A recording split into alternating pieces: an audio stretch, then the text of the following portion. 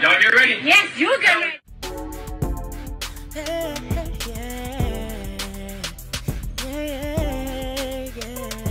If you want the latest news in the streets, join us and tune in for the tea. Breaking news with integrity. So tell your friends and your family. It's the Lovely Tea TV show. Bringing you good tea and good vibes. It's the Lovely Tea TV show. Be sure to share, like, and subscribe.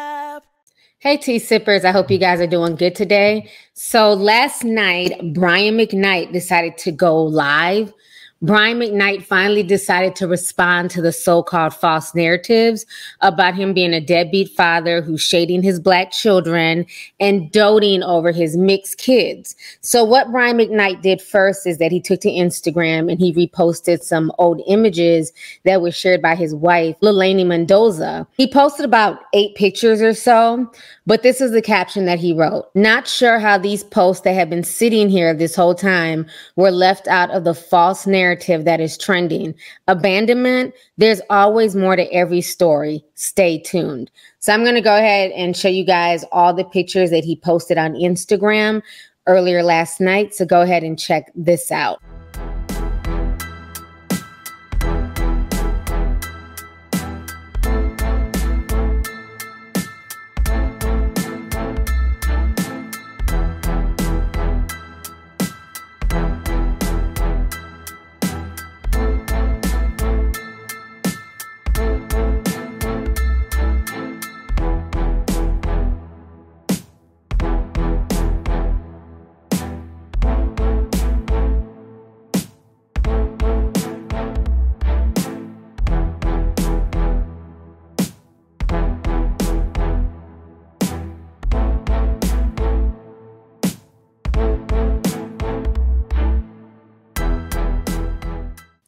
All right, so you guys just saw those pictures and you guys saw where he highlighted the comments from Brian McKnight 23 and Brian McKnight Jr. And you can see where they were all conversing. You can also see pictures of his daughter and his stepdaughter and the wife all hanging out together. So, you know, people were still dragging him. People still felt the way. People were still even comments to him saying things like, well, you already have a Brian McKnight Jr. Why would you name your new baby Brian McKnight? So he was still being questioned on Instagram. So at that point, he decided to drop a video. So I want you guys to go ahead and check out this video, and I'm going to come back with the rest of my commentary. Brian McKnight here. There's been a lot of discussion online lately about how I talk about my family on social media. Typically, I prefer not to give attention to the internet trolls, but now my family is being harassed online and accosted in public apparently because some people can't handle seeing my happily ever after. Coming after me is one thing, but the moment you come after my wife and our children, it's another story. Because even more important to me than defending my name is defending and protecting them. I want to address some of these recent discussions. There is a very simple reason why I post about some of my children on social media and not others. The children that I do not currently have relationships with, I don't post about them. Instead, I post about the children with whom I do have relationships, with whom I am proud of. There is a very simple reason why I post about some of my children on social media and not others. The children that I do not currently have relationships with, I don't post about them. Instead, I post about the children with whom I do have relationships, with whom I am proud of, and about whom I want to share my pride in their accomplishments. I don't live in the past. I live in the present and the future. I am so proud of the man I am today, the husband I am to my wife Leilani, and the father I am to our children. I'm so proud of our love, our family, our life. So I will, without apology, continue to shout about it as loud as I can. If you can't help or handle seeing happiness and love, then I respectfully ask you, why are you even on my page? Maybe you should ask yourself that too. In 2020, my biological daughter Brianna sued me for defamation and breach of contract. I posted a page from the lawsuit here and the file number down below so you can look this up for yourself. And you will see that she did not ask for an apology or even ask that I remove the alleged false statement from the internet. All she asked for and all she wanted was money. The case was dismissed before there was any decision whether my statement about her was defamatory. We settled the case earlier this year, and I agreed to pay Brianna some money, but here's the interesting part.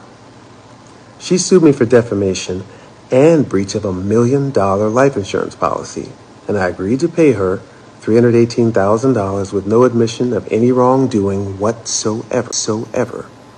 You heard that right.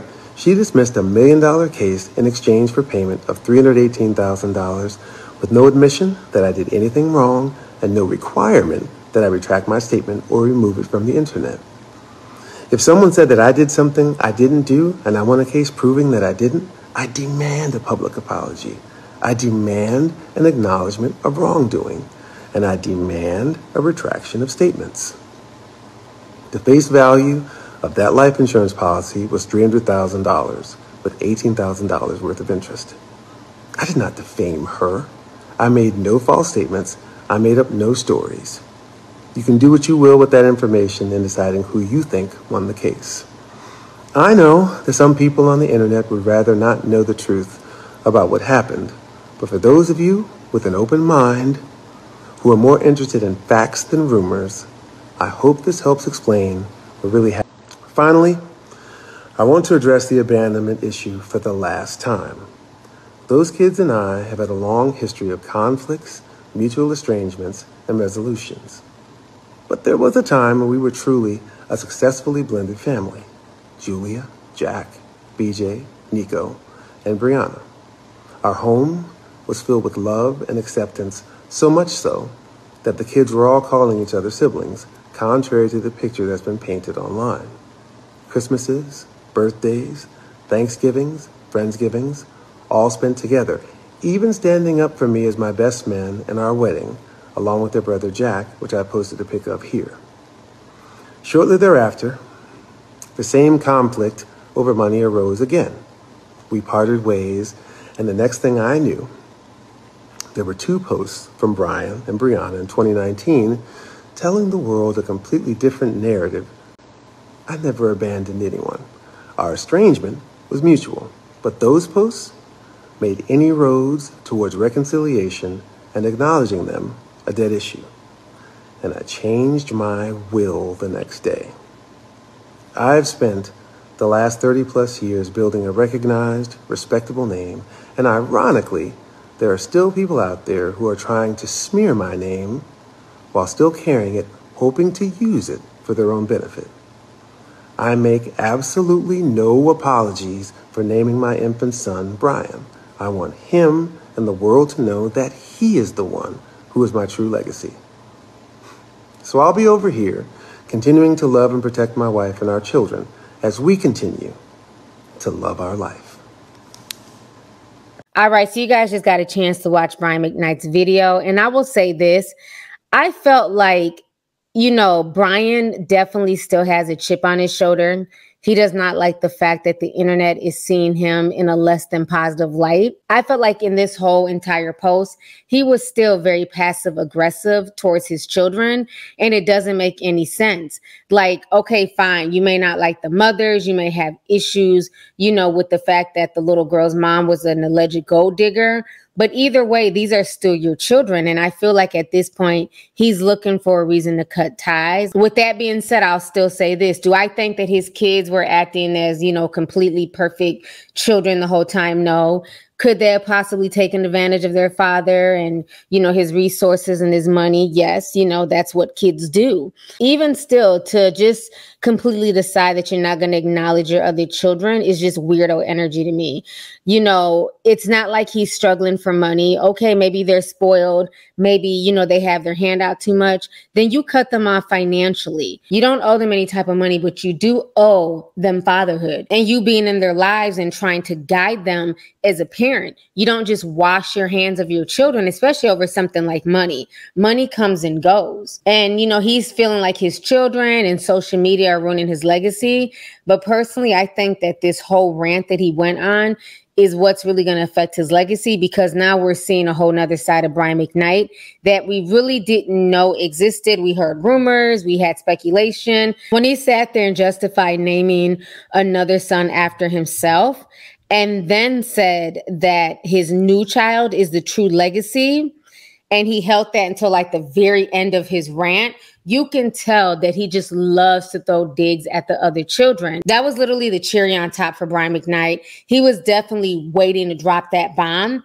Why would you call your newborn baby the true legacy? And the thing that's really disturbing watching this is he's upset at his older children. He's cut them off. He's appointing this new son, you know, his legacy.